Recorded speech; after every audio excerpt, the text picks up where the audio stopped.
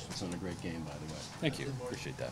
How'd you see the game? It looked like you know that, that early goal, but you didn't. Nothing changed after that. You guys played the same way. I mean, we had basically a full 60 minutes to get that one goal back, so we weren't uh, panicking, that's for sure. That was just a, a tough bounce. They happen, unfortunate, but you move on. Back to back 5 1 wins for this group. Does this feel like a moment that you guys can kind of take and build off of as you go into the longest homestand of the year? Absolutely. I mean, we talked about coming home and establishing, um, you know, our game on the road back here. Obviously, this is a big homestand for us, so uh, I thought we did a heck of a job bringing that game from Vancouver back here, uh, really locking it down defensively and capitalizing on our chances offensively as well. Phil Danault does so many little things for this team. To see him get rewarded with a night like this, how big is that, and how nice is it to see him get those?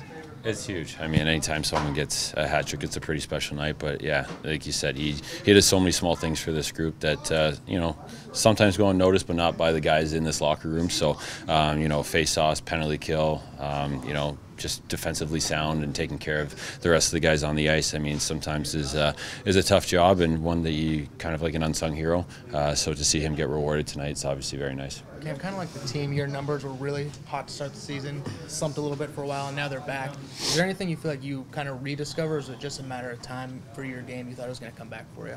Yeah, it's just a matter of time. I mean, you don't forget how to play the position. Sometimes it's just between the ears, and uh, you just got to get that confidence back. And it, once you get a, a, win, it starts to to snowball a little bit. The confidence comes, and then obviously the guys in front of me have been playing. Uh, some pretty good hockey as well, so it's uh, easy to read off them. Everyone's doing their job out there, and uh, we trust each other, and uh, it's nice to be back in there contributing. Speaking about guys playing in front of you, Harris mentioned um, last home game that the team's got to get back to the identity, and the identity is a checking team, and goals come after that. Do you see that happening more so? Uh, uh, it's a great checking game today. Is that what you're seeing in front of you? Absolutely, yeah. I mean, that's that was our identity to start the year. I mean, we were capitalizing on chances off of D zone coverage and going the other way, uh, taking advantages of uh, odd man rushes and stuff like that. And you can you can see that tonight when we turn the puck over in the D zone, we've got support all over the ice, and guys just seem to know where everyone is, and we're we're coming through, we're slashing, we're creating odd man opportunities. Uh, D men are jumping up the backside like you saw in that. Uh, I think it was uh, Phil's second goal there, where. Royce jumps in and then hits Phil as the late guy. So um, everyone's just kind of reading off each other, and um, but it starts in our zone, and then you activate from there. So it's uh, it's fun to see and fun to play behind. That's for sure. Cam, how much did uh, the break itself? Um, and even David playing well allow you the time and chance to kind of reset there.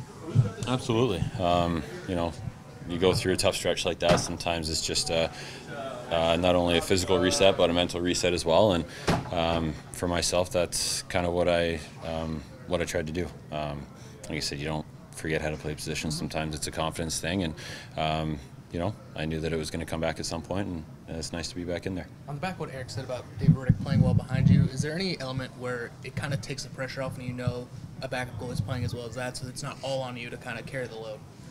Absolutely. I mean, it's always good for a team to have two goalies going, and obviously, when one of them's not going, it's good that the other one's going, and you know, uh, on the opposite schedule there. So uh, when I wasn't playing well, Ritter obviously, uh, you know, got some big wins for us, which is huge. And uh, like I said, it's nice to, to be back in there contributing.